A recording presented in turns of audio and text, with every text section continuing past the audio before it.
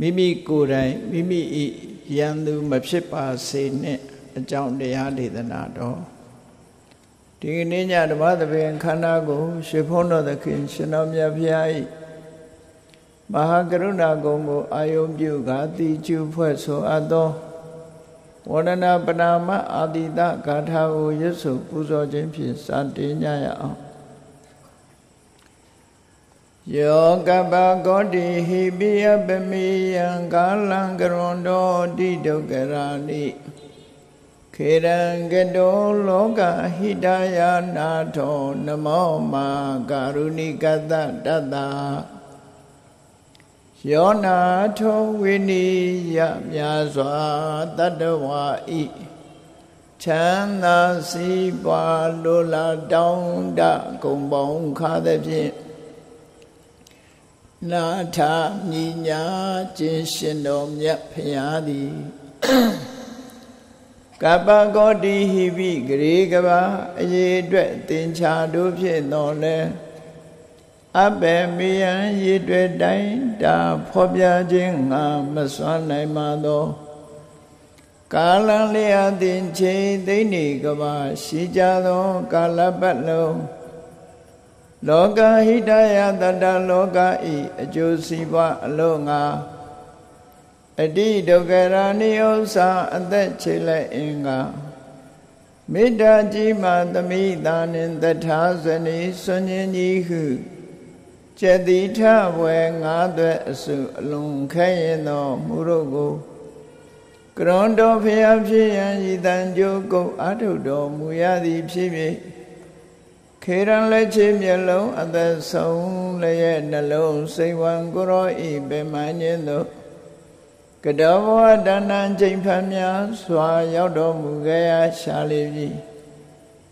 မဟာကရုဏီကတတတဝါများရင်ဝဲသားကဲ့သို့တနာချစ်ခင်မဟာကရုဏာရှင်ဖြစ်တော်မူသောဒါသနာထသဝိနည်းများစွာ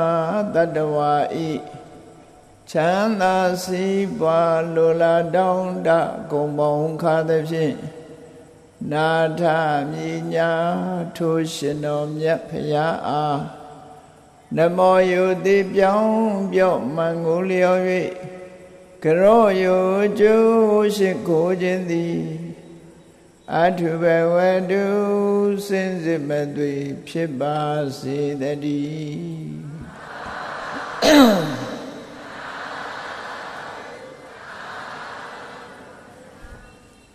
မိမိကိုယ်တိုင်မိမိဤရန်သူမဖြစ်ပါစေနဲ့မြတ်ဗုဒ္ဓရဲ့အဆုံးအမကိုယုံကြည်လေးစားအာကိုအာထာပြုကြတဲ့ဘုရားတာဝကတပြည့်တကာရကမများအနေနဲ့ရသော်ဘုရားရဲ့အဆုံးအမတိုင်းနေထိုင်ခြင်းဖြင့် ဘဝမှာချမ်းသာဒုက္ခရရှိပြီးနောက်ဆုံးဘဝတန်တရားခရီးမှလွတ်မြောက်ပြီးနိဗ္ဗာန်တိုင်အောင်မျက်မှောက်ပြုနိုင်တဲ့အနေအထားမျိုးရောက်ရှိနိုင်တာဖြစ်တယ်ဘဝခရီးရှောင်လန်းနေတဲ့အချိန်မှာလဲအခက်ခဲတွေပင်မဆင်းရဲမှုတွေနဲနိုင်သမျှနဲပြီးချမ်းသာဒုက္ခ ရရှိကပျော်ပျော်ရွှင်ရွှင်နဲ့ဘဝခရီးရှောင်လန်းနိုင်တဲ့အဆုံးအမတွေကိုမြတ်စွာဘုရားဟောကြားတာဖြစ်တယ်မြတ်စွာဘုရားကတရားတွေကိုကတည်နေဆိုတဲ့နေရာမှာဟိတေဘဝတ္တနေနအဟိတာသနိဝတ္တနေနတရားရရဲ့တဏ္ဍမှာကောင်းကျိုးချမ်းသာကိုဖြစ်စေနိုင်မဲ့အကြောင်းတရားတွေကိုဖြစ်အောင်လုပ်ဖို့ ဆိုးကျိုးကိုဖြစ်ပွားစေတတ်တဲ့အကုသိုလ်တရားတွေကနောက်ဆုံးရှောင်ရှားဖို့ဆိုတဲ့ဒီနှစ်ချက်နဲ့အဓိကထားပြီးတော့တရားရီတဏ္ဍမှာကြားရောက်လာနိုင်တဲ့ဘေးရအန္တရာယ်တွေကိုကာကွယ်ဆောင်ရှောက်ကယ်တင်တာသာဖြစ်တယ်ပေါ့အစွမ်းတကုတ်ကိုသုံးချပြီးတော့တရားတွေကိုကယ်တင်တယ်ဆိုတာလောကကြီးမှာဖြစ်နိုင်တဲ့အရာမရှိဘူး လူတွေရဲ့စွမ်းအားတတ္တိသည်လူတွေရဲ့တဏ္ဍမှာရှိတယ်လူတိုင်းလူတိုင်းဟာတကယ်ကိုစစ်မှန်တဲ့အရေးချင်းဟာမိမိတို့ကိုယ်တိုင်ရဲ့တဏ္ဍမှားသာရှိတယ်ဆိုတာကိုမြတ်ဗုဒ္ဓရဲ့အဆုံးအမတိုင်းမှတ်သားထားဖို့လို့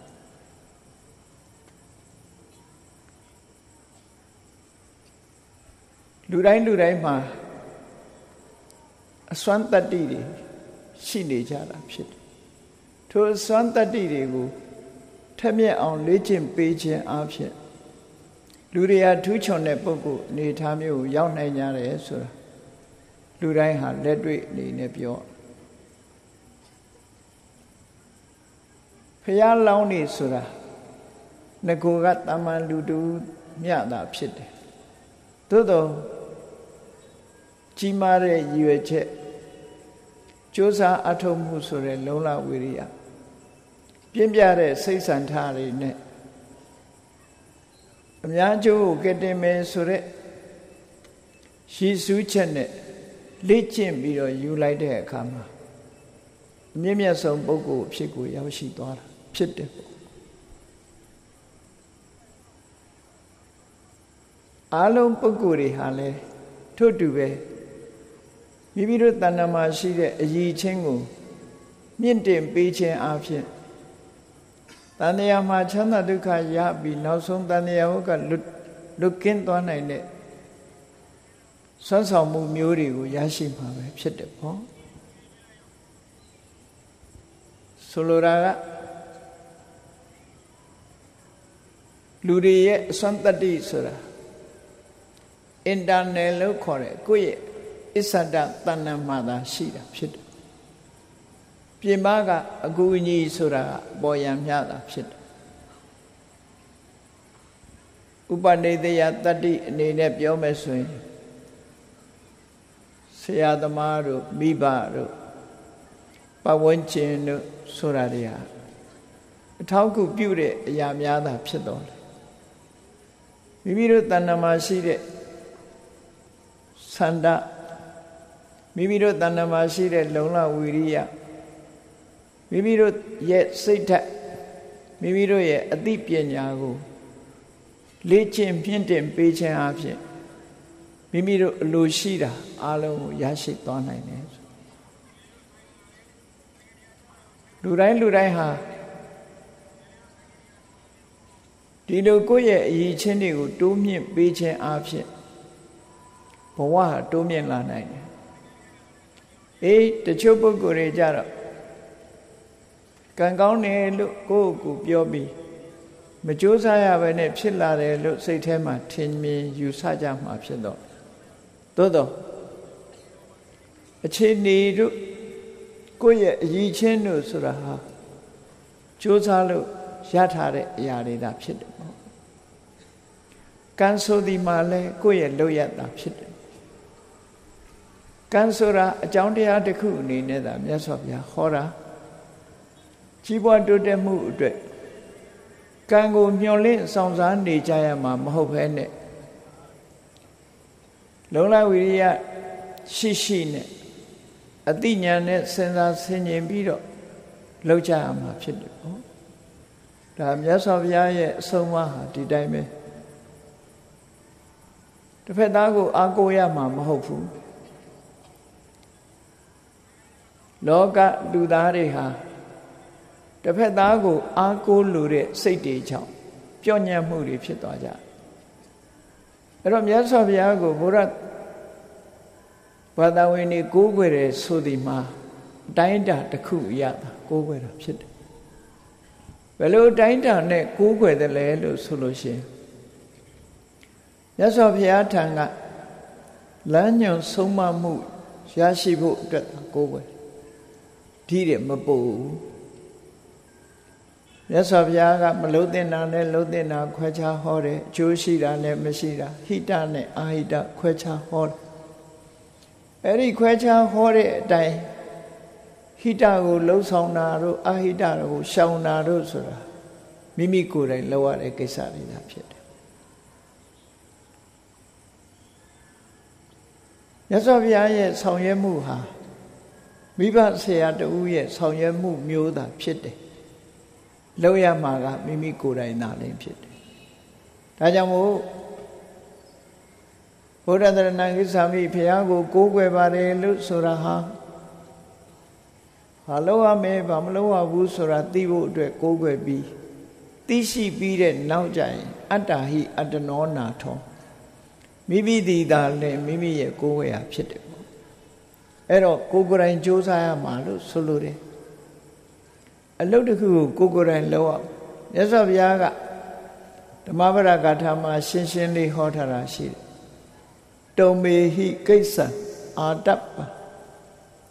အခါတာရောတထာဂတာတထာဂတဆိုတဲ့အစင်လာကောင်းတဲ့ပုဂ္ဂိုလ်မြတ်တွေဟာဘယ်လိုနေရမယ်ဘယ်လိုထိုင်ရမယ်ဘာလုပ်ရမယ်ဘာမလုပ်ရဘူးလို့ လမ်းညွန်ပြတာဆုဆုံးမရတာဖြစ်တယ်တုံမေဟိကိစ္စအတ္တပမင်းတို့ကိုယ်တိုင်သာလဲကြိုးစားအထောက်ကြရမှာဖြစ်တယ်လို့ဒီလိုဟောတာဒါကြောင့်မို့ဘုရားဘာသာဝင်သူတော်စင်တွေအနေနဲ့ဒီကနေ့ခေတ်ကြီးမှာလည်းပဲပညာရည်ချင်းမြင်မာဖို့သူများကိုအားကိုးရမှာမဟုတ်ဘူးကိုယ်တိုင်ကြိုးစား စီးပွားဥစ္စာတိုးတက်ဖို့သူများကိုမျှော်လင့်ရမှာမဟုတ်ဘူးကိုကိုယ်တိုင်ကြိုးစားအထောက်သို့တော့သူများစီကရတယ်ဆိုတာဟာအကြံကောင်းညံကောင်းဤစနစ်မျိုးလောက်တာပဲသူများစီကရကိုယ်တိုင်လုံးနိုင်တာတွေကိုကိုယ်တိုင်စ조사အထုံးတီထွင်ကြံစနီလန်းရဆိုတဲ့အတိုင်းမိမိတို့ကိုယ်တိုင်တီထွင်ပြီး ကိုယ်တိုင်စဉ်းစားညံ့နဲ့လောက်ကင်ဆောင်ရကြအောင်ဒါကြောင့်မို့ကြီးပွားတိုးတက်ခြင်းနဲ့ဆန္ဒဆိုတာရှိရမယ်ထိုဆန္ဒရှိသည့်အားလျော်စွာကြိုးစားအထောက်မှုဆိုတဲ့လုံလဝိရိယအရေးကြီးတယ်ကြိုးစားအထုတ်တဲ့အခါမှာအခက်ခဲဆိုတာမရှိဘူးမို့မြည်သည့်ကိစ္စပဲဖြစ်ဖြစ်အဖုအထစ်အခက်ခဲကြော်လွှားเสียဆိုတာရှိ အဲ့ဒီချိန်မှာစိတ်ဓာတ်ချမ်းခိုင်မှုဆိုတာအရေးကြီးတယ်ပေါ့ဒါရင်လုံလောက်ပြီလားလို့ဆိုအချုပ်အားဖြင့်ပြောမယ်ဆိုရင်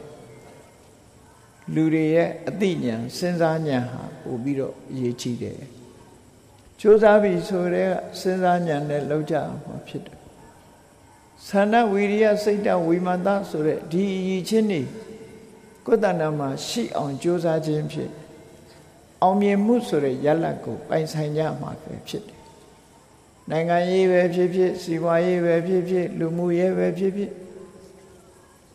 အလုံးခုပရဟိတလုပ်ငန်းကိုလုပ်နေကြတယ်ဆိုတာဟာမိမိတို့ကိုယ်တိုင်ကြိုးစားအထောက်မှုတွေနဲ့တွားကြတာဖြစ်တယ်။မိမိတို့ကိုယ်တိုင်ကြိုးစားအထောက်ကြတယ်။အဲ့ဒါလို့ကြိုးစားအထောက်မှုဆိုတဲ့အရေးချင်းတွေကိုယ်တဏ္ဍာမှာဖြစ်လို့ ကိုယ်တဏ္ဍမှာလိုအပ်နေတဲ့အရေးချင်းတွေကိုကိုယ်တိုင်ဖြည့်ဆည်းပြီးတော့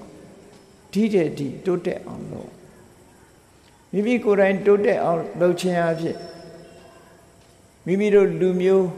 မိမိတို့ဘာသာသာသနာမိမိတို့ရဲ့မြို့နယ်မိမိတို့ရက်ွက်မိမိတို့ရဲ့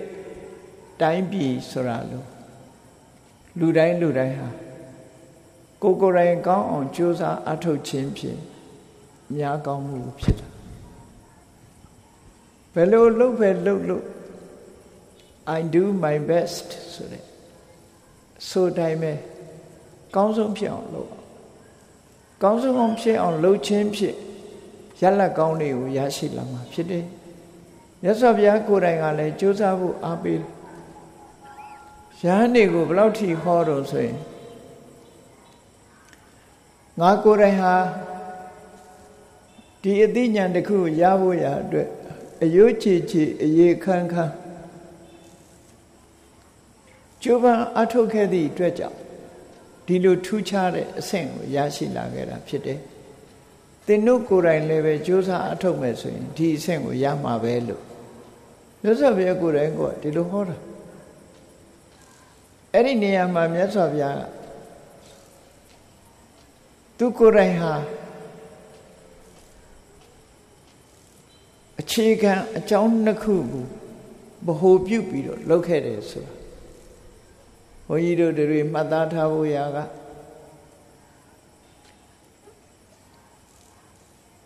ကုတလေတုဓမ္မေတုအတ္တန်တုဋ္ဌိတာကောင်းကျိုးချမ်းသာကို ဖြစ်စေနိုင်တဲ့ကိစ္စမျိုးမှာဘယ်တော့မှရောင်ရဲတင့်တိမ်သွားတယ်ဆိုတာမရှိစေရဘူးကောင်းတဲ့အလုပ်ကိုလုပ်လိုက်တာ လှုပ်တာနဲ့ပတ်သက်ပြီးတော့ရောင်ရဲတင့်တိမ်မှုမရှိစေရမရောင်ရဲရဘူးဆိုတာဆက်လုပ်ရမယ်တိုးလုပ်ရမယ်ဒီလိုဆိုလိုတာပေါ့နော်ကုသိုလ်ဆိုတာကောင်းကျိုးချမ်းသာကိုဖြစ်ပွားစေတတ် wholesome state လို့ခေါ်တယ်ကောင်းကျိုးချမ်းသာတွေကိုဖြစ်စေတတ်တဲ့အရာနဲ့ပတ်သက်လာလို့ရှိရင်ဘယ်တော့မှကုသိုလ်လုပ်ငန်းကိုရပ်တန့်တယ်လို့ဆိုတာမျိုးမရှိဘူး မိမိအတွက်ကောင်းကျိုးပဲဖြစ်စေတစ်ဖက်သားတွေရဲ့ကောင်းကျိုးပဲဖြစ်စေကောင်းကျိုးချမ်းသာရအောင်ကြိုးစားအထောက်အဲ့လိုကြိုးစားအထောက်မှုဆိုတဲ့ကုသိုလ်ကောင်းမှုအရာစကားနဲ့ပြောရင်ကုသိုလ်ကောင်းမှုနော်ကောင်းတဲ့လုပ်ငန်းတွေမှန်သမျှခြေနဲ့အားရပြီတော်လောက်ပြီလို့မရှိဘူးအမြဲတမ်း ဖြစ်စည်းလောက်ကင်နေတယ်လို့ဒီလိုဆိုတယ်အဲ့တော့ကုသိုလ်ဆိုတာပြောမယ်ဆိုရင်ဟိတဟိတဆိုတာအကျိုးဤစီးပွားကောင်းမြတ်သောအကြောင်းတရားဒုက္ခရာခြင်းအကြောင်းကိုဟိတလို့ခေါ်အဲ့တော့ဟိတဆိုတာအကျိုးတရားမဟုတ်ဘူးအကြောင်းတရားသာဖြစ်တယ် အကျိုးတရားတွေကိုပွားစီတိုးတက်စေတတ်တဲ့အကြောင်းတရားဆိုပါတော့လူငယ်တယောက်ကြီးပွားတိုးတက်ဖို့ဆိုတာ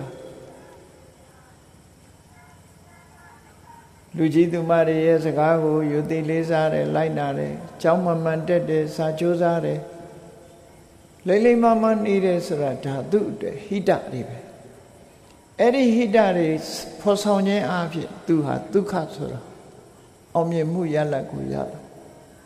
အဲ့ဒါကိုဆိုလို့ဟိတဆိုတာ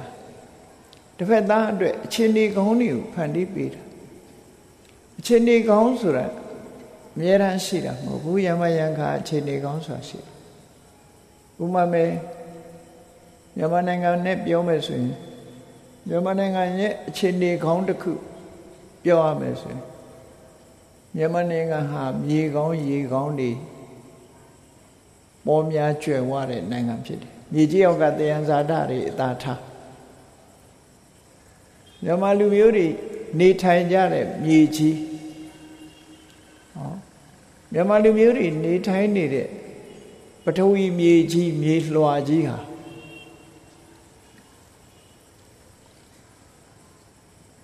အမတန် ပြေဩစာတွေကျွယ်ဝတဲ့မြေလွှာကြီးပဲဖြစ်တယ်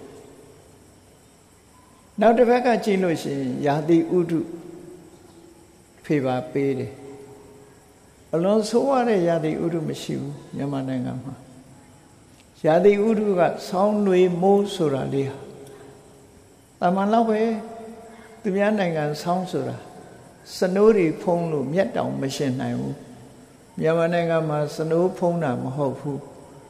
အပေါ်ကနေနှင်းကလေးကျပြီးလို့ရှင်တစ်ပင်တွေကပိုးတော့မှလမ်းသေးတယ်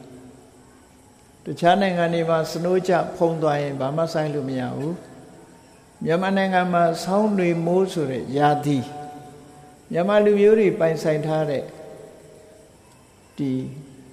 မြေဩဇာပြည့်ဝတဲ့မြေကြီးဒီလိုအခြေအနေကောင်းရှိနေတဲ့ မြန်မာနိုင်ငံမှာစိုက်လိုက်မယ်ပြိုးလိုက်မယ်ဆိုလို့ရှိရင်မြန်မာလူမျိုးတွေဝါဝလင်းလင်းစားရယုံမြမကအိုရှန်နဲ့သီးနှံတွေကိုတခြားနိုင်ငံတွေရောင်းလို့ကျွယ်ဝချမ်းသာတဲ့အဆင့်မြေကြီးတစ်ခုတည်းကတောင်မှပဲပေးနိုင်တယ်လို့ပြောလို့ရတယ်ပေါ့ပေးနိုင်တယ်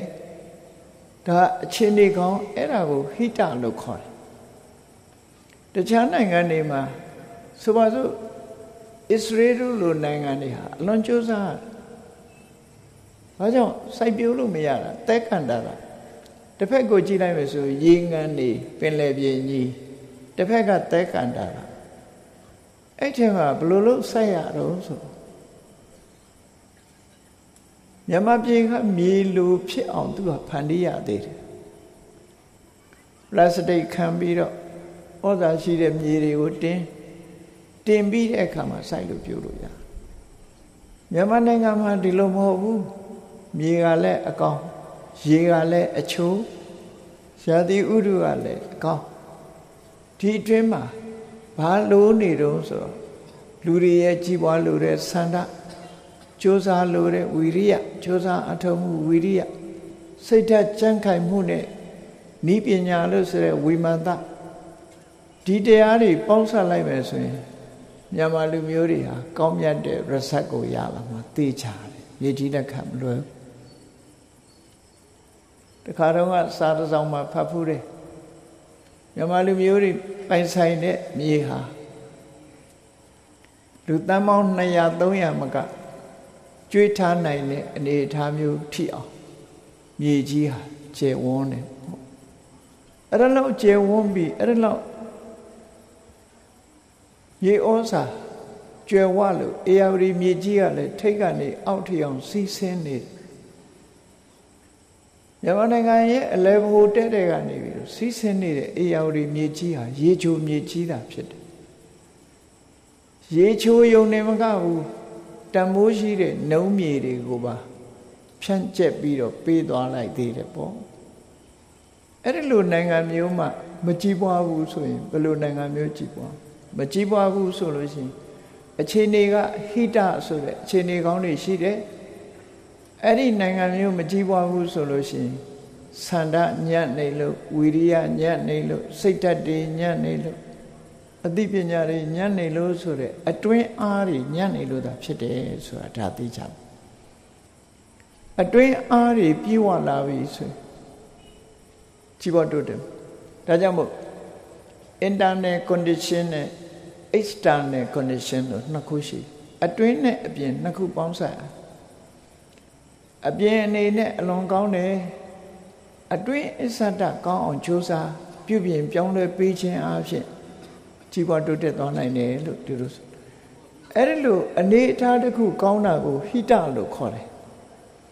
ပရာဟိတလုပ်ငန်းလုပ်တယ်ဆိုတာဟာလည်းပဲ တစ်ဖက်သားရဲ့အခြေအနေကောင်းတွေကိုဖန်တီးပေးခြင်းမျှတာဖြစ်တယ်ပေါ့အခြေအနေကောင်းတွေကိုဖန်တီးပေးတာဟာပရာဟိတလုပ်ငန်းလို့ခေါ်တယ်ဒုက္ခဆိုတာတိုက်ရိုက်ပေးလို့မရဘူးဟိတကိုသာဖန်တီးပေးလို့ရတယ်ဒုက္ခဆိုတာဟိတကိုအကြောင်းပြုပြီးမှရတာဒါကြောင့်မို့ဟိတနဲ့ဒုက္ခဟာတွဲဖက်ပြီးတော့ထားရသော်ဗျာပွင့်လာတာဟာတရားတွေရဲ့ဟိတဒုက္ခအတွက်လို့ဆိုတယ် ဟိတဆိုတာပါလေမြတ်စွာဘုရားကကောင်းကျိုးချမ်းသာကိုဖြစ်စေနိုင်တဲ့အကြောင်းတရားတွေကိုအထုတ်စေတယ်ဟိတထိုဟိတတွေကိုအထုတ်စေခြင်းအဖြစ်လူတိုင်းလူတိုင်းတရားတိုင်းတရားတိုင်းဟာဒုက္ခဆိုတဲ့ရလတ်ကိုပိုင်ဆိုင်ကြမှာဖြစ်တယ်ဟောဟိတနဲ့ဒုက္ခဟိတမလုပ်ဘဲဒုက္ခမရဘူးဒုက္ခဆိုတာတိုက်ရိုက်ပေးလို့မရဘူး တိုက်ရိုက်ပေးလို့ရရင်ကိုသားသမီးကိုပညာတတ်ကြီးလုပ်လို့ရမှာပေါ့ပညာတတ်အောင်လုပ်မပေးနိုင်ဘူးသို့တော့မိဘတွေလုပ်ပေးနိုင်တာဘာတော့ကြောင်းကောင်းကောင်းထားပေးမယ်ဆရာကောင်းကောင်းစီအပ်မယ်ငွေကြေးတနအသုံးချပြီးတော့စာကြိုးစားခိုင်းမယ်ဒီတဲ့ပို့လားမပို့သာသမီကိုယ်တိုင်ကကြိုးစားပါမှပညာတတ်ဆိုတာဖြစ်တယ်ဟော အတွင်းအပြင်နှစ်ခုမိဘကအပြင်ကိုသာလုံနိုင်တယ်အတွင်းလုံလို့မရဒါကြောင့်မို့အတွင်းဟာအမတမအရေးကြီးတယ်လို့အပြင်ကဟိတဘလောက်ကောင်းနေနေအတွင်းဟိတချိုရင်းနေလို့ရှင်ဒုက္ခဆိုတဲ့ရဇတ်ကိုရမှာမဟုတ်ဘူးဆိုတာကိုတော့ဆွဲဆွဲမြဲမြဲမှတ်ဖို့ပေါ့ဒါကြောင့်မို့ဒီကနေ့ရသော်ဘုရားရဲ့အဆုံးအမတရားတော်တွေကိုဟောပြောတဲ့အခါမှာ အကြောင်းအရာတစ်ခုကိုဥတည်ပြီးတော့ပြောဖို့မိမိကိုယ်တိုင်မိမိရဲ့ယန္တုမဖြစ်ပါစေနဲ့ဆိုတာကိုယ်မှာဟိတတွေရှိပါလေထိုဟိတတွေကိုလက်လျူရှုလို့အာဟိတတွေကိုဖော်ဆောင်နေမယ်ဆိုရင်ကိုယ့်ကိုယန္တုဖြစ်နေတာ ਨੇ တူတူပဲကိုယ့်ကိုဖြည့်ဆည်းတာတန်ကို တန်ဖြက်တန်ခြေတက်ဆိုတာတန်ကဖြစ်ပေါ်လာတဲ့တန်ခြေသည်တန်ကိုပြန်စားတယ်မိမိရဲ့အည်ချင်းဉာဏ်ဖြစ်မှုမမယွင်ယွင်လုံးမှုမမယွင်ယွင်တွေးတောကြံစီမှု ပြောဆိုမှုလုံးမှုတွေဟာတန်ချေးကတန်ကိုဖြတ်တယ်လို့ကိုလှုပ်ရက်တွေကကိုယ့်ကိုပြန်ဖြတ်စည်းတယ်လို့သူတို့ဆိုလို့တယ်ပေါ့အဲ့ဒါကိုယ့်ကိုပြန်ပြီးရန်သူဖြစ်နေတဲ့အဓိပ္ပာယ်ရ ရသော်ဘုရားဟောတဲ့ဒေသနာတစ်ပုဒ်ကိုစဉ်းစားကြည့်လူတွေဟာအမတ်တမဲ့နေလို့ရှိရင်မသိဘူးဒါကြောင့်မို့စဉ်းစားအချက်နှစ်ချက်ကိုစဉ်းစားငါဟာဒီကနေ့လူဖြစ်နေတယ်အသိဉာဏ်ရှိတဲ့လူသားတယောက်ဖြစ်နေပြီဆင်ញင်သုံးသပ်ကြည့်ငါဟာငါလွတ်ရကြောင်ငါကိုယ်ကိုရန်သူများဖြစ်နေသလားသို့မဟုတ်ငါဟာငါဘဝကိုအကျိုးပြုတဲ့ငါရဲ့မိတ်ဆွေဖြစ်သလား ဒီနေရာမှာရန်သူဆိုတာပျက်စီးအောင်လုပ်တာမှန်သမျှရန်သူအကျိုးပြုတာကမိတ်ဆွေတချို့ပုဂ္ဂိုလ်တွေဟာကိုယ့်ကိုယ်ပျက်စီးအောင်လုပ်တာတချို့ပုဂ္ဂိုလ်တွေကကိုယ့်ကိုယ်ချီးပွားအောင်လုပ်တာအဲ့တော့ကိုယ့်ကိုယ်ကိုပျက်စီးအောင်လုပ်ရင်ရန်သူကကိုယ့်ကိုယ်လှုပ်တယ်လို့ကိုယ့်ကိုယ်လှုပ်ချင်းကြောင့်မိမိကိုယ်တိုင်ဟာပျက်စီးရအဲ့တော့တခြားရန်သူကြောင့်ပျက်စီးတာမဟုတ်ဘဲနဲ့ မိမိကိုယ်တိုင်ကမိမိရဲ့ရန်သူဖြစ်ပြီးပျက်စီးသွားတယ်လို့ဒီလိုဆိုတယ်အဲ့တော့မိမိကိုယ်တိုင်ကမိမိရဲ့မိတ်ဆွေခေါင်းဖြစ်ကြလား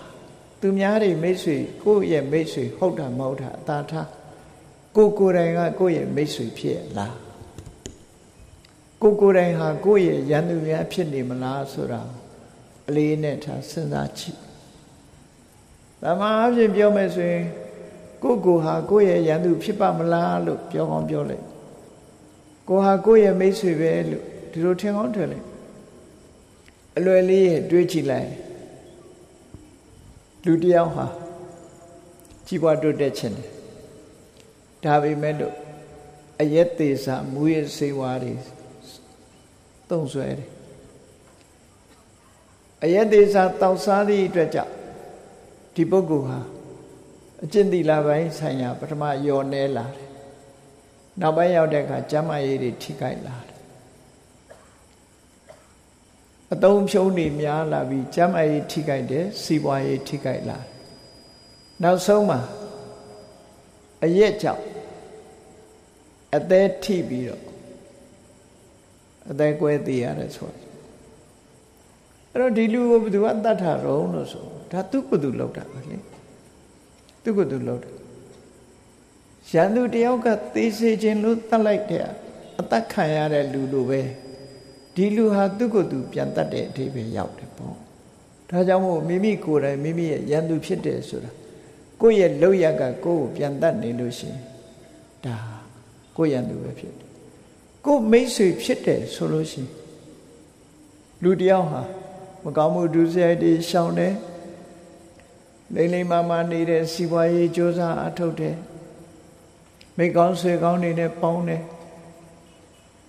အဲ့ဒါလိုလုပ်လို့ရှိရင်ဒီပုဂ္ဂိုလ်ဟာတဖြည်းဖြည်းကြီးပွားတိုးတက်လာစီပွားဥစ္စာကြီးပွားတိုးတက်မှုမရှိတောင်ကျမရေးတွေဆွေးယုံမှုမရှိဘူးဂုံတရင်နေပြည့်ရွံ့တာမရှိဘူးလူထဲမှာလူဝင်ဆန့်တဲ့ပုဂ္ဂိုလ်လူတော်လူကောင်းတယောက်ဖြစ်ရောက်တယ်အဲ့ဒါဘယ်သူလှုပ်တာတော့လို့ဆို ကိုယ့်ကိုယ်ပဲလှုပ်တာအဲ့ဒါကြတော့ကိုယ့်ကိုယ်မိတ်ဆွေလို့မိမိကိုယ်တိုင်နေပြီနဲ့မိတ်ဆွေကြီးပွားတွတ်တက်မှုလုပ်တယ်ကိုကြီးပွားသွားတာဟာကိုယ့်ရဲ့ကြိုးစားမှုပဲအဲ့တော့ဒီနေရာမှာမြတ်စွာဘုရားသခင်ကိုရောမြတ်ကဟောကြားဆုံးမပြီးတတိပေးတာရှိတယ်စရန္တိဘာလာထုံမေတာမစင်စားတတ်တဲ့ အသိပညာမရှိတဲ့ပုဂ္ဂိုလ်ဒုံမေတာလို့ခေါ်ဒုံမေတာစဉ်းစားဉာဏ်လုံးဝမရှိတဲ့ဘာလာမယူရဲတွေဟာအသိပညာလုံးဝကင်းမဲ့တဲ့မယူရဲတွေဟာဘာလို့တော့အမိတ်တေနေဝအတ္တနာမိမိကိုယ်တိုင်မိမိရဲ့ယန္တုဖြစ်ပြီးတော့စရန္တိဘဝမှာသွာလာနေထိုင်ကြတယ် တခြားယန္တုမဟုတ်ဘူးကိုယ့်အကိုပဲဖြည့်ဆည်းနေကြတန်မောတန်ဖြက်တန်ကြီးတက်တန်ကြီးတက်တန်ကိုဖြက်ဆိုတာတန်ကြီးကတန်ကိုဖြက်တယ်လို့ပဲထိုပုဂ္ဂိုလ်တွေကကိုယ့်ရဲ့လောက်ရကကိုယ့်ကိုဖြက်စီးနေတယ်မိမိကိုယ်တိုင်သိတာလည်းမိမိရန်သူဖြစ်တယ်ကရွန်တာပပကံကမ္မယံဟောတိကတုကပ္ဖလံ အကျိုးပေးလို့ရှိရင်အလွန်ခံရခက်တဲ့ဆိုးကျိုးကိုပေးတတ်တဲ့အောက်တန်းကြတဲ့အလုပ်တွေကိုလုပ်နေတယ်အောက်တန်းကြတဲ့အလုပ်တွေမကောင်းတဲ့အလုပ်တွေလုပ်ခြင်းအဖြစ်ထိုလုပ်ရကြောင်ဆိုးကျိုးတွေဟာတနေ့ကိုယ်စီရောက်လာကိုမရောက်စေခြင်းမှုဆိုတဲ့ဆိုးကျိုးတွေကိုရောက်ဝိရစေဝါဆွဲနေတဲ့ပုဂ္ဂိုလ်တယောက်ဒီမူရစေဝါရဲ့ဆိုးကျိုးကိုခံရမှာဖြစ်တယ် မရောက်စေခြင်းနဲ့ဆင်းရဲဒုက္ခတွေကိုယ်စီရောက်လာမှာပဲဖြစ်တယ်ပေါ့အဲ့ဒါမိမိကိုယ်တိုင်ကမိမိရဲ့ယန္တုဖြစ်တယ်တခြားယန္တုမဟုတ်ဘူးဒါကိုရသော်ဘုရားတတိပေးပြီးတော့ဟောကြားတာပဲဖြစ်တယ်အဲ့တော့တစ်ဖက်ကဒေသနာတော်ကိုကြည့်မယ်ဆိုရင်စဉ်းစားဉာဏ်ရှိတဲ့ပုဂ္ဂိုလ်တွေကတော့ကောင်းတာတွေလုပ်နေသည့်အတွက်ကြောင့်မိမိကိုယ်တိုင်ကမိမိရဲ့မိတ်ဆွေဖြစ်ပြီးတော့ ကောင်းကျိုးချမ်းသာတွေရပြီးကြီးပွားနေကြတယ်လို့ဒီလိုအဓိပ္ပာယ်ရတယ်ပေါ့အဲ့တော့ကိုယ့်ကိုမိတ်ဆွေလားကိုယ့်ရဲ့မိတ်ဆွေလားကိုယ့်ရဲ့ရန်သူလားဆိုတာအမြဲတမ်းဆင်ញင်သုံးသပ်ကြည့်အောင်ရန်သူနဲ့မိတ်ဆွေဆိုတာကောင်းကျိုးပေးလို့ရှိရင်ရန်သူမိတ်ဆွေဆိုးချိုးဖြစ်ပေါ်စေရင်ရန်သူကိုယ်တဏ္ဍမှာမကောင်းတဲ့အကျိုးတွေဖြစ်စေသည်များ ရန်သူကလှုပ်ထတာဖြစ်တယ်ပေါ့ကောင်းကျိုးချမ်းသာတွေဖြစ်လာသည်များမိတ်ဆွေရဲ့အကူအညီသာဖြစ်တယ်ပေါ့ဒါကြောင့်မို့ကိုယ်တဏ္ဍမှာမကောင်းကျိုးတွေဖြစ်ပေါ်လာနေပြီဆိုလို့ရှိရင်ငါဟာငါရဲ့ရန်သူဖြစ်နေပြီလို့ကိုယ့်ကိုစဉ်းစားကြည့်ကိုယ့်ကိုဖြစ်စီတယ်ဆိုတော့လောက်ရတွေဟာဘာတွေနဲ့ဥပမာတူတော့ဆိုရင်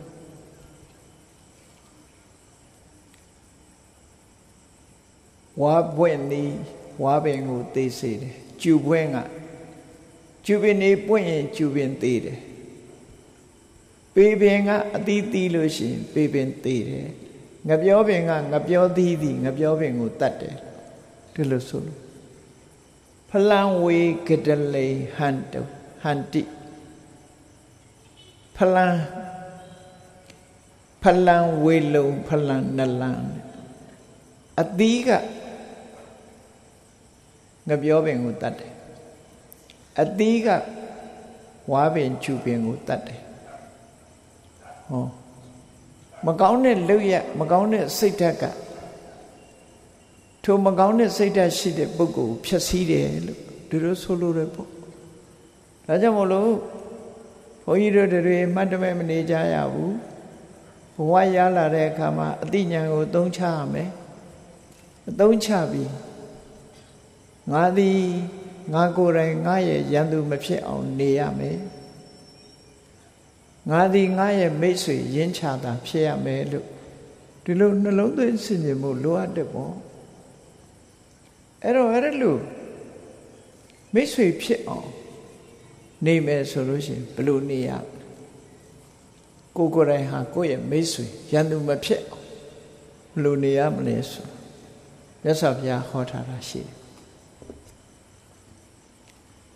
အတ္တနေစေပိယံစင်ညာနတ်နံပပေနတန်ယုစီကိုယ်ကိုတန်မိုးရှိတယ်ဟောကိုယ်ကိုတန်မိုးရှိသူအဖြစ်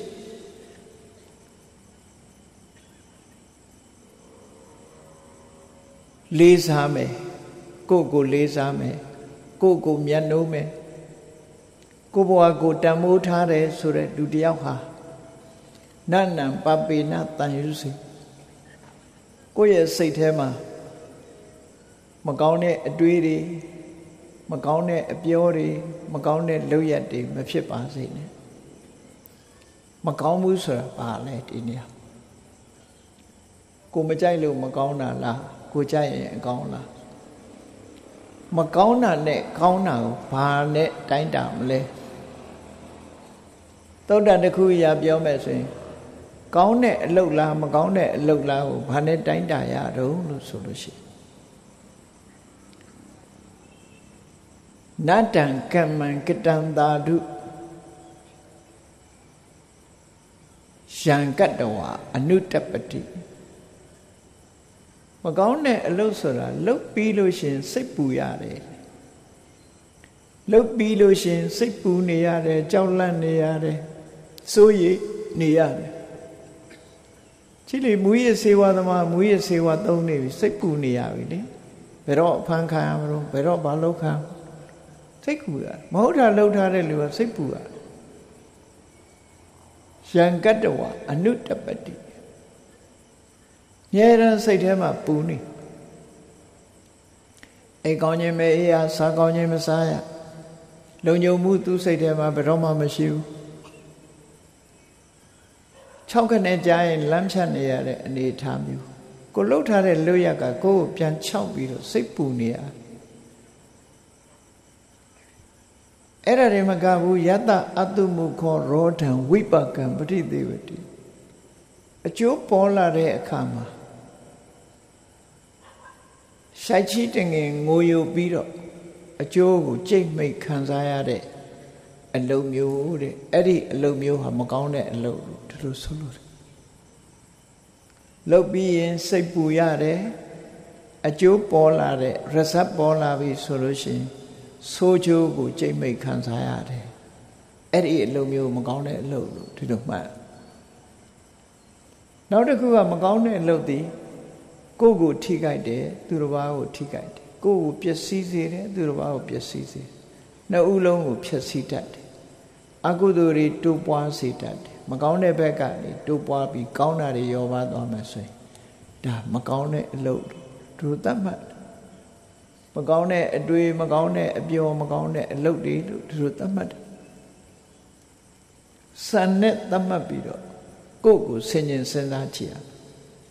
ကိုယ့်အတွက်အကျိုးပြုတဲ့အလုပ်လားအကျိုးမပြုတဲ့အလုပ်အကျိုးပြုတယ်ဆိုတဲ့နေရာမှာရေရှည်အကျိုးပြုတဲ့အလုပ်လားသာဝရကောင်းတဲ့အလုပ်လား အဲ့ဒီလိုဆင်ញင်တုံတရားရှိဖို့လိုအပ်တယ်ဒါဖြင့်ကောင်းတဲ့အလုပ်ဆိုတာဘာနဲ့ပြောတာတော့လို့ဆိုတင်္စကမ္မံကတံသာဓုယံကတ္တဝနာနုတ္တပတိကောင်းတဲ့အလုပ်ဆိုတာလုပ်ပြီးရင်ဘယ်တော့မှစိတ်မပူရဘူးတဲ့ဟုတ်တယ်သီလဆောင်လို့မိမိဆောင်တဲ့သီလကိုအကြောင်းပြုပြီးတော့စိတ်ပူရတယ်မရှိဘူး ဒါနကောင်းမှုလုပ်တယ်လုပ်ပြီးရင်စိတ်ပူရတယ်မရှိဘူးကမ္မထန်ထိုင်တယ်ထိုင်ပြီးစိတ်ပူရတယ်မရှိဘူးပရိဒအလုပ်တွေလုပ်တယ်လုပ်မိသည့်အတွက်ကြောင့်စိတ်ပူရတယ်မရှိဘူးကောင်းကျိုးချမ်းသာရတဲ့အလုပ်တွေလုပ်လိုက်တာပျော်ရွှင်ချမ်းမြေ့လုပ်တဲ့အချိန်မှလည်းလုတ်ပြီးတဲ့နောက်မှလည်းစိတ်မပူရဘူးယတပတိတောသူမနောဝိပကံပတိသေဝတိ result ပေါ်လာတဲ့အခါကျတော့လေ နှစ်ချိုက်ပီတိဖြင့်အကျိုးကိုရရှိခံစားရတယ်အဲ့တော့လုတ်ပြီးစိတ်မပူရဘူးဝမ်းသာနေရတယ်အကျိုးပေါ်ရင်လည်းပဲဝမ်းမြောက်ဝမ်းသာခံစားရတယ်ဆိုတဲ့အလုပ်မျိုးဟာကောင်းတဲ့အလုပ်လို့ခေါ်တယ်အဲ့တော့ကိုယ်ဘဝမှာကောင်းတဲ့အလုပ်တွေကိုလုပ်ဖို့လိုကိုယ်လည်းမထိခိုက်ဘူးသူတို့အားကိုလည်းမထိခိုက်ဘူးနှုတ်သားလုံးကိုလည်းမထိခိုက်ဘူးကောင်းတဲ့အလုပ် အဲ့ဒီကောင်းတဲ့အလုပ်မကောင်းတဲ့အလုပ်ဆိုတာခွဲခြားသိပြီးတော့ကိုကိုကိုမျက်နှိုးပြီးတမိုးထတတ်တဲ့လူတယောက်သည်နနံပပေနတန်ယုစီကိုကိုမကောင်းတာတွေနဲ့ဘယ်တော့မှမတွဲမိစိမ့်နဲ့မကောင်းတဲ့အတွေးတွေမတွေးမိဖို့မကောင်းတဲ့အပြောတွေမပြောမိဖို့မကောင်းတဲ့အလုပ်တွေမလုပ်မိဖို့ထိမ့်သိမ်းဆော့ရှောက်ရမယ်လို့ အဲ့တော့ကိုလို့ရကောင်းတဲ့အလုပ်ပဲလို့ဒီလိုဆိုလို့တယ်ပေါ့မြတ်စွာဘုရားဘာကြောင့်မကောင်းတာတွေနဲ့မတွဲမိစေနဲ့လို့ပြောတော့လို့ဆိုနာဟိတံသူလပံဟောတိဒုက္ခံဒုက္ကတာကာရိနာမမမကံမဟုတ်တာလှုပ်တဲ့ပုဂ္ဂိုလ်တယောက်အနေနဲ့ချမ်းသာဒုက္ခရဖို့ဆိုတာမလွယ်ဘူး သို့သောခဏိခေတ်မှာလူတွေကတော့တွေးကောင်းတွေးလေမဟုတ်တာလှုပ်တဲ့လူတွေကြီးပွားနေတယ်လို့ပြောကောင်းပြောလေအေးအားကြစရာမဟုတ်ဘူးတခဏမှအစဉ်ပြေးနေတယ်လို့ရှိလို့အကျိုးပေါ်တာနဲ့တပြိုင်နက်ဒုက္ခရောက်အဲ့ဒါကိုမြတ်စွာဘုရားဗာနဲ့ရှင်းပြတော့လို့ဆိုရင်သစ္စုခိရံဝမုစတိ နွားနုဆိုတာညစ်ပြီးရင်ညစ်ပြီးချင်းချင်းမသွားဘူးဒိန်ကြီးဖြစ်မသွားဘူးအချိန်ကြာမှဒိန်ကြီးဖြစ်တယ်အဲ့တော့နွားနုဟာညစ်ပြီးကစားမှာဒိန်ကြီးမဖြစ်တယ်လို့ကုသိုလ်ကောင်းအကုသိုလ်ဟာလည်းပဲလုတ်ပြီးကစားမှာကောင်းကျိုးချမ်းဆိုးတဲ့အကျိုးကိုမပေးသေးဘူးတဲ့မပေးသေးတော့ အတိတ်ဘဝကလုပ်ခဲ့တဲ့ကုသိုလ်ကံရဲ့အကျိုးလေးကိုခံစားနေရတာကိုဒီအကုသိုလ်လောကကြီးပွားနေတယ်လို့စိတ်ထဲမှာဒီလိုထင်တာတဲ့ရသော်ဗျာဒေသနာတော်ဒီမှာဆုံးမပြီးတတိပေးထားတာအထင်မလွဲဖို့လွဲမှားတတ်တယ်ပေါ့တချို့ကမျက်စိလေးမျက်တောင်လေးတဆုံးကိုမကြည့်နဲ့မဒုံဝမညတိဘာလောယဝပပနပိစတိ မကောင်းမှုအဟုသို့အကျိုးမပေးသေးလို့ရှိရင်အတိညာမရှိတဲ့ပုဂ္ဂိုလ်ဟာပြားတကားလို့ချိုတယ်လို့စိတ်ထဲမှာထင်ပြီးတော့လုံနေတာတဲ့ယထာသပစ္စတိပါပံဘာလောဒုက္ခနိဂစ္စတိအကျိုးသက်ရောက်မှုဖြစ်လာပြီဆိုရင်တော့အဲ့ဒီကြရင်တော့ဒုက္ခရောက်ပြီသားမှတ်ပြီးတော့ဥပမာဘာနဲ့တူတော့ဆိုရင် အစိတ်ခတ်ထားတဲ့အရက်ချိုနဲ့အလားတရတူတယ်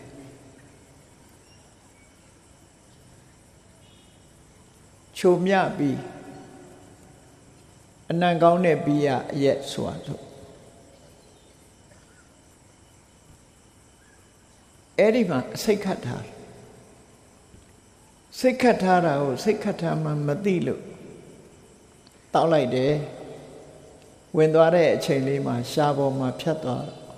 ကြိုက်တဲ့လူဖို့ရတာရှိတယ်ကောင်းတယ်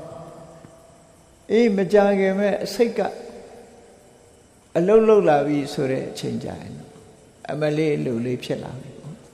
အသက်ပါဆုံးရှုံးသွားတယ်အဲ့ဒါမျိုးလိုပဲအကုသို့အလုတ်ဆိုတာအကျိုးမပေးသေးရင်ပြားတကလူချိုးနေတတ်တယ်တဲ့အကျိုးပေးပြီဆိုရင်တော့ဒုက္ခရောက်ပြီတော့ဆိုလို့တယ်ပေါ့ ဒါကြောင့်မြတ်စွာဘုရားကနာဟိတံသူလပံဟောတိဒုက္ခံဒုက္ကတာကာရိနာမဟုတ်တာလုပ်ပြီးချမ်းသာဒုက္ခရဖို့ဆိုတာပုံမှန်အားဖြင့်မဖြစ်နိုင်ဘူးတဲ့ခဲရင်နေဒါကြောင့်မို့လို့ကိုယ်မကောင်းတာကိုမလုပ်မိဖို့ထိမ့်သိမ်းဆောက်ရှောက်ရမယ်လို့ဒီလိုဟောတာပေါ့နော်အဲ့ဒါကိုယ့်ကိုမိမိကိုယ်တိုင်မိမိရဲ့ရန်သူမဖြစ်အောင် နေတာထိုင်တာပဲဖြစ်တယ်အကယ်၍သာမကောင်းမှုတွေလုပ်မယ်ဆိုရင်ကိုဟာကိုယ့်ရဲ့ရန်သူဖြစ်သွားကိုဖြစ်ခြင်းနဲ့ကြီးပွားတိုးတက်မှုလို့ကိုဖြစ်ခြင်းနဲ့ကောင်းကျိုးချမ်းသာတို့ဘယ်တော့မှရမှာမဟုတ်ဘူးကိုယ့်ရဲ့ရန်သူဖြစ်သွားပြီးတော့ကိုဟာကိုယ့်ကိုရန်သူလို့ပြုကျင့်တဲ့အနေအထားမျိုးတစ်ခုရောက်သွားနိုင်တယ်လို့ဒီလိုဆိုတယ် မြတ်စွာဘုရားကဘဝတစ်ခုအဆုံးထိအောင်ကြည့်တယ်အနဂေနာတိပဏ္ဏတဇဟတောမနုတံဘဝလူဆိုတာဒီနေ့ကျတော့သိတာပဲလူဘဝလူခန္ဓာကိုစွန့်ပြီးတော့သိပြီလို့ဆိုတဲ့အချိန်မှာကိဟိတတတကံဟောတိကိစ္စအာရာယခိစ္စတိ သိပြီဆိုလို့ရှိရင်သူပိုင်တာပါရှိတယ်နော်သေချာစဉ်းစားကြည့်ယာရုဘလောက်ချီချီပစ္စယောစာတွေဘလောက်ချမ်းသာချမ်းသာဘာတွေပဲပိုင်ပိုင်လူတယောက်ဟာမျက်စိနှလုံးလေးမှိတ်ပြီးတော့တည်သွားတာနဲ့တပြိုင်နက်အဲ့ဒီအခွင့်အရေးတစ်ခုမှကြံမကြံတော့သူပိုင်တာတစ်ခုမှမရှိတော့သေဆုံးသွားလိုက်တာနဲ့တပြိုင်နက်အကုန်လက်လွတ်ဆုံးရှုံးသွား နောက်ဆုံးမှာကိုကိုယ်တိုင်ဆောက်ပြီးနေတဲ့အိမ်မောတောင်မှကြာကြာမထားဘူးတခြားပို့ပြခါတေချာပိုင်ဆိုင်မှုတွေလည်းအကုန်ဆုံးသတ်သွားပြီကိုယ်အိမ်မောတောင်ကိုနေလို့မရတော့ဘူးကိုမိသားစုကလည်းကိုယ်ကိုခွဲသွားပြီအဲ့တော့မျက်စိလေးနှလုံးမမိတ်ခင်လေးတော့ဟာဘာတွေပိုင်နေညာတွေပိုင်နေစသဖြင့်ပိုင်ဆိုင်မှုတွေနဲ့ဂုံယူဝင်ကြွားပြီးနေနိုင်တော်လဲပဲ သေချင်းတရားနဲ့ရင်ဆိုင်လာလို့ဘဝကိုဆွန့်လိုက်ပြီးဆိုတဲ့အချိန်ကစပြီးပိုင်ဆိုင်မှုတွေအားလုံးဆုံးရှုံးသွားပြီတဲ့ဒါဖြင့်သူပိုင်တာဘာရှိတော့ဘာပိုင်တာရှိတော့ကိစ္စအာရာယခိစ္စတိနောင်ဘဝသွားတာသူတယောက်တည်းသွားတော့ဘာယူပြီးတော့အိမ်မော်ကဆင်းသွားတော့ကားကိုယူသွားလို့ရလားစိန်နေရွှေတွေယူသွားလို့ရလားပိုက်ဆံတွေယူသွားလို့ရ ဘာတစ်ခုမှယူသွားလို့ဘာဟာသူယူသွားလို့ရတုံးတဲ့မိကုံထုတ်တာကိဟိတတတကံဟောတိဘာကသူပိုင်နာဖြည်သေးတော့ကိစ္စအာရာယကိစ္စတိသူဘာကိုယူသွားရတုံးကိစ္စတအနုကံဟောတိသူ့နောက်မှာလိုက်သွားတာဘာရှိတော့ဆာယဝအနတ္ပယအရေးလို့မခွဲမကွာသူ့နောက်ပါသွားတာဘာရှိတော့ စဉ်းစားခိုင်းထားတာနော်ငါသိသွားလို့ရှိရင်ငါပိုင်တာဘာရှိလဲနော်ငါယူသွားလို့ရတာဘာရှိလဲငါနောက်ကပါလာမှာဘာရှိလဲဟောဒီအချက်၃ချက်ကိုစဉ်းစားကြည့်အဲ့တော့မြတ်စွာဘုရားကရှင်းပြတယ်ဥဘောပုံညင်စပပင်စယမစ္စောကုရုတိဣဒလက်ရှိဘဝမှာတဲ့တရားတူလူသားတူဟာ ကောင်းတာလုပ်တယ်မကောင်းတာလုပ်တယ်ကုသိုလ်လုပ်ငန်းတွေလုပ်တယ်မကောင်းတဲ့အလုပ်တွေလုပ်တယ်ကောင်းတဲ့အလုပ်တွေလုပ်တယ်အဲ့ဒီကိုလုပ်တဲ့လုပ်ရက်တွေပဲတန်ဟိတတတကံဟောတိတဲ့ကိုလုပ်ခဲ့တဲ့အလုပ်ဒီပင်လေဘာကြောင့်စဉ်းစားကြည့်ကိုလုပ်တာကုသိုလ်လုပ်မယ်အကုသိုလ်လုပ်မယ်ကိုယ့်ရဲ့ထဲမှာဖြစ်သွားပြီ စိတ်ကောင်းနှလုံးကောင်းထားရင်စိတ်ကောင်းနှလုံးကကိုယ့်ရဲ့ထဲမှာဖြစ်တယ်ညစ်ပတ်တဲ့စိတ်ဓာတ်တွေမွေးရင်ညစ်ပတ်တဲ့စိတ်ကကိုယ့်ရဲ့ထဲမှာရှိတယ်မကောင်းတာပြောတယ်မကောင်းတာလုပ်တယ်ကောင်းတာပြောတယ်ကောင်းတာလုပ်တယ်ဟောကောင်းတဲ့အလုပ်မကောင်းတဲ့အလုပ်ခုနကိုယ့်ရဲ့ထဲမှာဖြစ်ခဲ့တဲ့အလုပ်တွေဒီဘဝမှာမသေးခင်လူတွေဟာနေ့စဉ်နဲ့အများလုပ်တယ်စိတ်နဲ့ကြံတွေးတယ်နှုတ်နဲ့ပြောဆိုတယ်ကိုယ်ဒီလက်အောင်လုပ်တယ် အဲ့ဒီကိုယ့်ရဲ့လုပ်ရကံသေးသာလင်တင်ကြီးတတ်တသကံဟောတိတယ်အဲ့ဒါသူ့ရဲ့သူသူပိုင်တဲ့အရာအဲ့ဒါပဲရှိအဲ့တော့ဒီနေရာမှာ तू အိမ်ပိုင်တယ်လို့လည်းပြောဘူးကားပိုင်တယ်လို့လည်းပြောဘူးရွှေငွေစိန်ရှိရတနာတွေ तू ပိုင်တယ်လို့လည်းပြောနော်ပိုင်ဆိုင်မှုဆိုတာမျက်စိလေးနှလုံးမမိတ်ခင်မသေးခင်လေးအတွင်းမှာကပိုင်ဆိုင်မှုတွေဆိုတာအကုန်ရှိတာ သေလိုက်တာနဲ့တပြိုင်နက်အကုန်လုံးဘာမှမပိုင်တော့အဲ့ဒီအချိန်မှာ तू ပိုင်တာလို့ဆိုလို့ရှိရင် तू လုတ်ခဲ့တဲ့လုတ်ရက်ပဲ तू ပိုင်တယ်ကောင်းတာလုတ်ရင်ကောင်းတာမကောင်းတာလုတ်ရင်မကောင်းအကောင်းဆုံးနှမျိုးလုတ်ရင်နှမျိုးလုံး तू ပိုင်နေပါအေးအဲ့ဒါဒီပဲလင်သူ့ရဲ့ပိုင်ဆိုင်ရာဖြစ်ပြီးတင်စအာရာယကိစ္စတိအဲ့ဒါပဲဟိုဘဝယူသွားလို့ရမယ်နောက်ဆုံးမှအဝတ်ကောင်းရင်တောင်ချွတ်ယူလိုက်သေးတာနော် လက်စွပ်ဆိုဘယ်သူမှစိုးမပေးလိုက်ဘူးချွတ်လိုက်မှာပဲတေချာစိတ်ငကကြီးဆိုလည်းဖြုတ်လိုက်မှာပဲလေမตาနဲ့ငကကြီးနဲ့မကောင်းမှုဆိုဖြုတ်ယူလိုက်အောင်မှာအဲ့တော့သူပိုင်ဆိုင်မှုတွေအကုန်လုံးယူလိုက်ကြသူယူသွားလို့ရတာဘာရှိတော့လူမြင်လို့ရတာတကုတ်မှကိုမရှိဘာရှိတော့လို့ဆိုလို့ရှိရင် သူလုပ်ခဲ့တဲ့ကုသကံအကုသကံတွေပဲအဲ့ဒါဖြင့်သူနောက်လိုက်သွားတာချစ်လာပါတယ်ဆိုတော့မိဘဆွေမျိုးသားသမီးတွေလိုက်လာတာဘယ်သူမှမလိုက်ဘူးဇာတိကံလောက်လိုက်ပို့ပြီးပြန်လှည့်လာမှာပဲဒါပဲခိုးဘက်တော့ပို့လိုက်မှာမဟုတ်ဘူးเนาะလိုက်ပို့ရတာလုံးမှာလိုက်မှာမဟုတ်ဘူးခေါ်လို့သူမှမလိုက်ဘူးအဲ့တော့တင်သတ္တအနုကံဟောတိ ဆာယဝအနပါယသူနဲ့ကပ်ပြီးတော့ပါလိမ့်မှာကတော့သူလုပ်ခဲ့တဲ့ကုသကံအကုသကံပဲတဲ့အဲ့ဒါပဲပါတော့ပရာဟိတကုသိုလ်တွေလုပ်ရင်အဲ့ဒီကုသိုလ်တွေကကိုယ်နဲ့ပါသွားမှာမကောင်းတဲ့အကုသိုလ်တွေလုပ်ရင်မကောင်းတဲ့အကုသိုလ်တွေကကိုယ်နဲ့တူပါလာမှာဒီလိုဆိုလို့ဆိုပါစို့ဒီဘဝမှာမူရစေဝါတွေသုံးတဲ့အရက်သေးစာကြိုက်အဲ့ဒီမှာကောင်းမှုအကုသို့လောက်ရသည် တည်တဲ့အခါသူနဲ့အတူပါသွားတယ်ဒါကိုသူယူသွားရတယ်ယူသွားပြီးတော့အပင်ငရဲရောက်သွားတယ်အပင်ငရဲကလွတ်ပြီးလူပြေရောက်လာတဲ့အခါသူဘာဖြစ်တော့အယူအနှံဖြစ်တယ်။အမှန်အကျိုးလေးနဲ့ပြောမယ်ဆိုအယူအနှံကြက်မပြည့်တဲ့လူလားဖြစ်လာ။အဲ့ဒါဟာရဇတ်ပဲ။ဆိုးတဲ့ရဇတ်တွေကိုရရှိလာ။ဒီလိုဆိုလို့ရပေါ့နော်။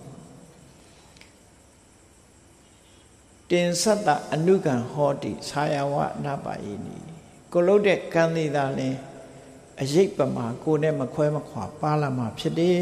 ဆိုတာကိုအမြဲတမ်းနှလုံးသွင်းဆင်ခြင်ဖို့ပဲမြတ်စွာဘုရားကိုယ်တိုင်ကလည်းတပ်ပိတတ္တာကမ္မတကတရဝမှန်တယ်မြကိုယ်ပိုင်ဥစ္စာဆိုတာကံတာပဲကျန်တာပိုင်ဆိုင်မှုတွေတခဏပဲတဲ့ အတိုင်းအတာတစ်ခုရှိတယ်သာဝရပိုင်ဆိုင်မှုဒီကံတာလင်ဖြစ်တယ်တခဏပိုင်ဆိုင်မှုတွေကတော့ပြည့်နေတာယံကမ္မံကရိတန္တိကလျာဏဝါပါပကံဝါတတကမ္မတထာတာဘဝိတန္တိ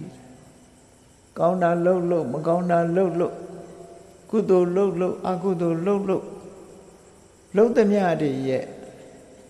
အကျိုးဆက် အမွေရဇက်ကိုဘယ်သူခံရတော့ဆိုလှုပ်သူပဲခံရမယ်လို့ဒီလိုဆိုတယ်အဲ့ဒါကိုမြတ်စွာဘုရားဟောကြားခြင်းဖြစ်တယ်အဲ့တော့ကိုယ့်ကိုမိတ်ဆွေသဘောကိုယ့်ရဲ့မိတ်ဆွေဖြစ်တယ်ဆိုရင်လူဘဝမှာအပြစ်ကင်းအောင်နေပါအပြစ်ကင်းအောင်တွေးပါနော်ကောင်းကျိုးချမ်းသာကိုဖြစ်စေနိုင်တယ်အများကိုအကျိုးပြုတဲ့အလုပ်ကိုလုပ်မယ်မိမိကိုယ်ကိုအကျိုးပြုတဲ့အလုပ်ကိုလုပ်မယ် အတ္တဟိတပရဟိတကိုယ်ကိုလည်းအကျိုးမပြုဘူးသူတော်ကိုလည်းအကျိုးမပြုဘူးဆိုတဲ့အကုသိုလ်လုပ်တွေကရှောင်မယ်ဒီလိုဆိုလို့တော့ပေါ့ပြောတဲ့အခါမှာလည်းသူသူများကိုလည်းအကျိုးပြုတယ်ကိုယ်လည်းအကျိုးပြုတဲ့စကားမျိုးပြောမယ်လှုပ်လို့ရှိရင်လည်းကိုယ်လည်းအကျိုးပြုသူတစ်ပါးကိုလည်းအကျိုးပြုတဲ့အလုပ်မျိုးကိုပဲလုပ်မယ်လို့ဒါကြောင့်မြတ်စွာဘုရားတိုက်တွန်းတာ တတ္တမကရိယကလျာဏဒီလိုဘဝတစ်ခုဆုံးသက်သွားလို့ရှိရင်ကိုယ်နဲ့အတူပါလာတာကံတာဖြစ်သောကြောင့်တဲ့ကောင်းတာတွေလုပ်ပါဘဝမှာလူဘဝရရှိတဲ့အခိုက်ကလေးမှာတမိုးရှိမဲ့ကုသိုလ်လုပ်တွေကိုလုပ်ပါနိစယံတံပရာယိက တမလုံးမောမှာကောင်းကျိုးချမ်းသာကို ဖြစ်ပွားစေနိုင်တဲ့ကုသိုလ်လုပ်တွေကိုလုပ်ပါ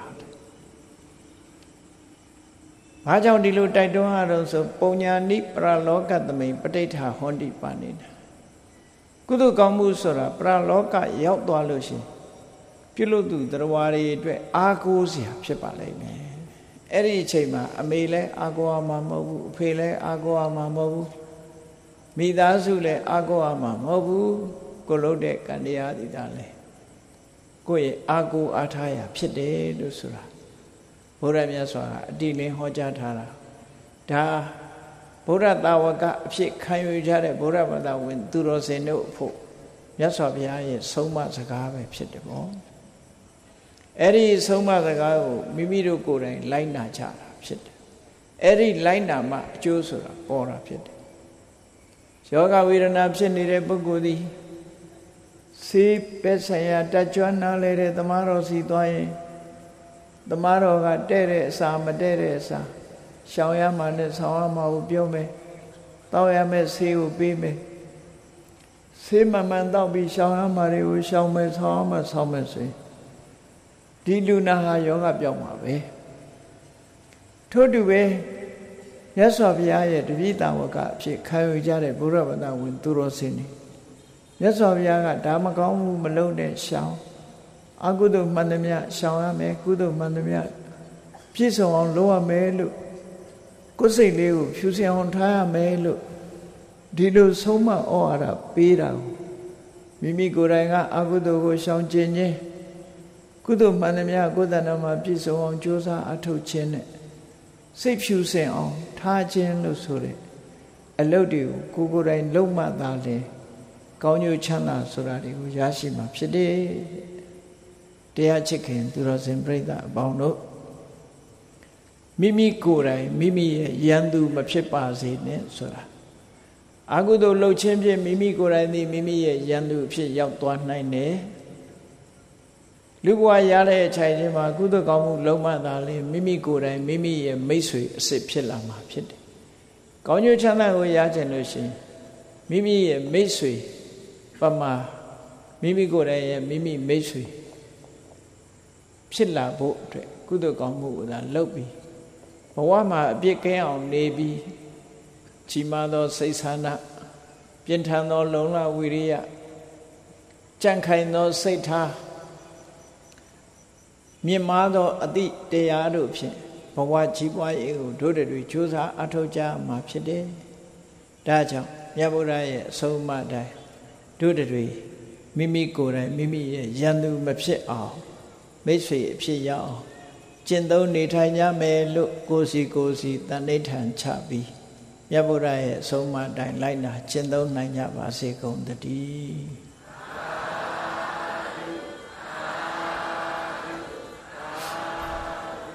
မေတ္တာပို့ရအောင်တတဝါများစွာပေယံကွာ ချမ်းသာကြပါစေ